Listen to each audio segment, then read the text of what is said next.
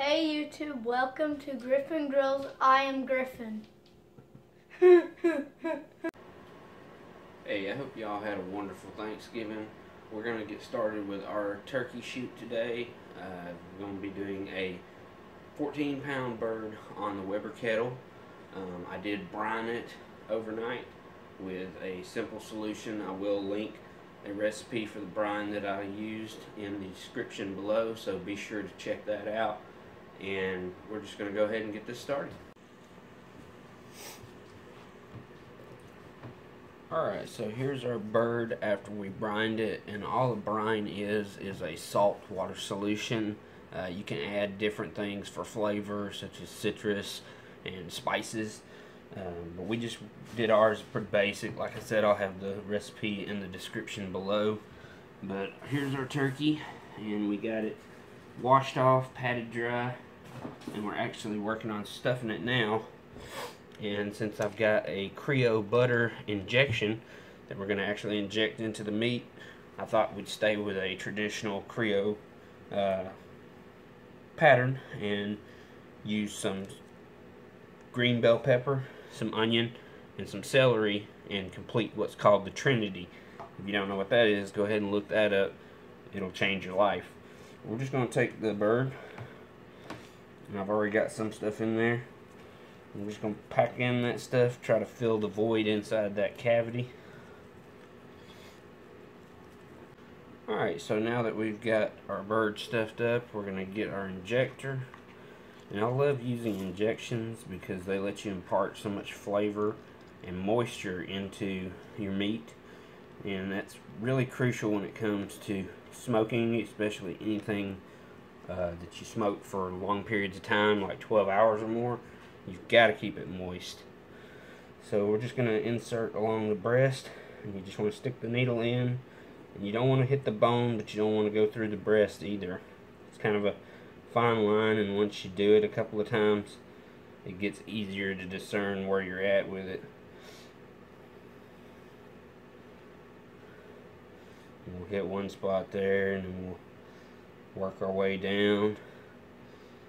You just want to push real slow because you're going to get some spit back on it. It might start coming back out. That's fine.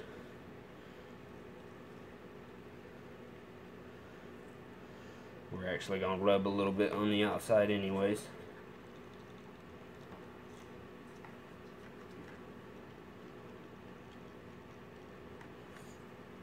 And we're going to do both sides of this breast today. We're also going to hit down there around the thighs too.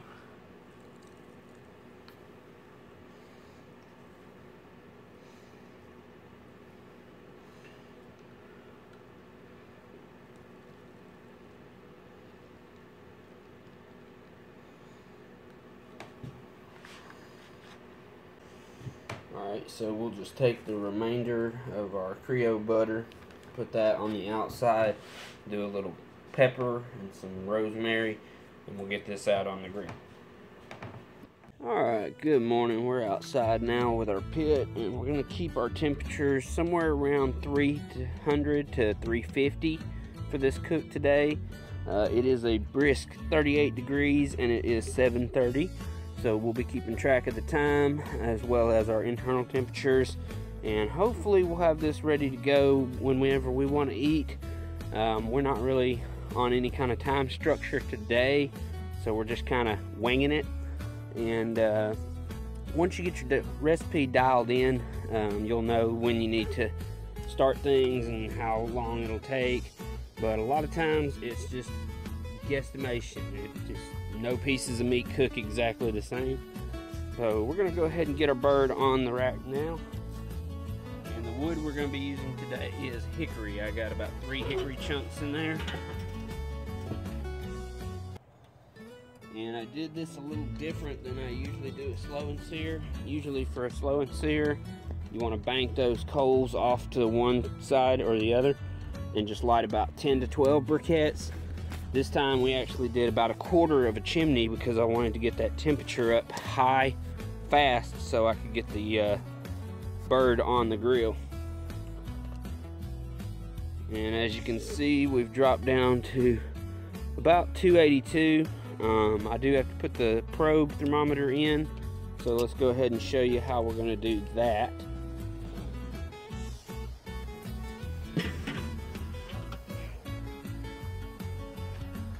Little probe read thermometer. I'm just gonna slide that right into the breast. And I'm gonna stay over here on the non-fire side. And then after a couple hours, we're probably gonna rotate this bird around so it gets a little even cooking.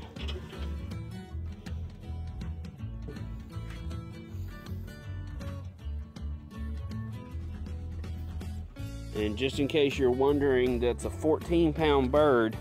And this is a regular Weber 22 inch kettle.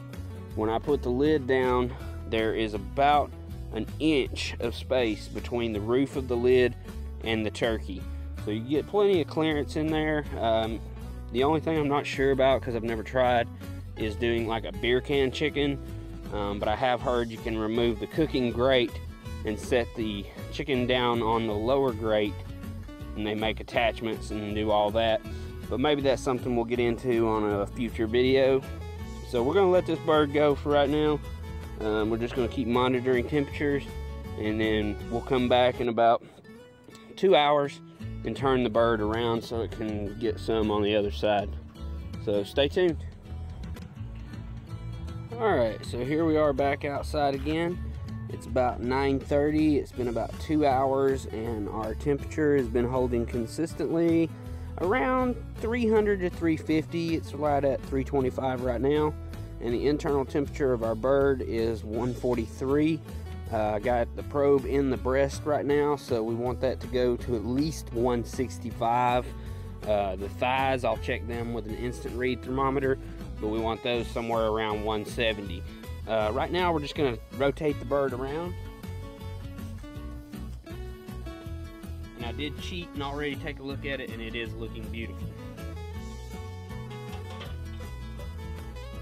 But this is what I was worried about. If you can kind of tell, a little lighter on this side than it is over here. This is more of a goldeny red, whereas this is kind of a little brown.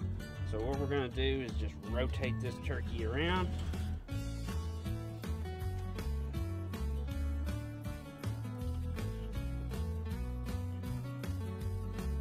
And while I've got this open, I'm gonna go ahead and stoke my charcoal, get it all pushed to one side and add just a little bit more to help finish it on out.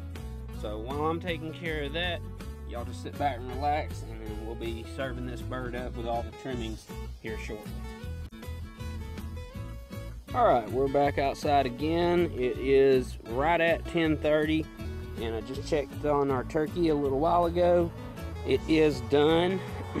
the internal temperatures are reading about 170 to 180, so I'm hoping it's not overdone. But we're gonna go ahead and pull it off and let it rest. Uh, don't want to cut into anything right straight away after you pull it off because all those juices that we've worked hard to preserve will just run out everywhere. So let's go ahead and get the uh, turkey on the plate.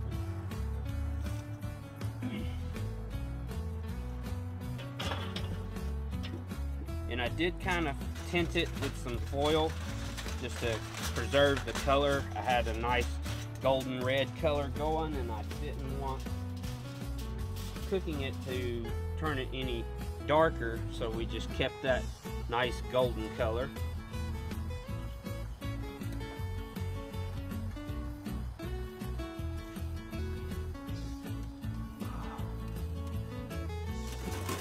And it just barely fit in that dish.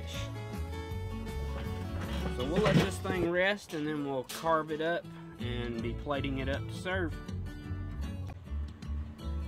Alright, so here we are back inside and we're about to cut into this bird and see what we got.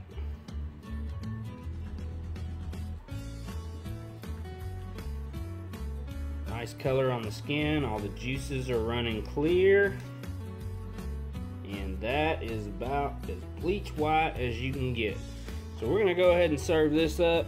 I uh, just want to take this time to wish you and yours a happy Thanksgiving, and please look out for those out there that are a little less fortunate than you. Uh, not everybody has it as great as we do, so we need to really appreciate everything we have, not only this time of year, but all throughout the year. Thank you and have a wonderful evening.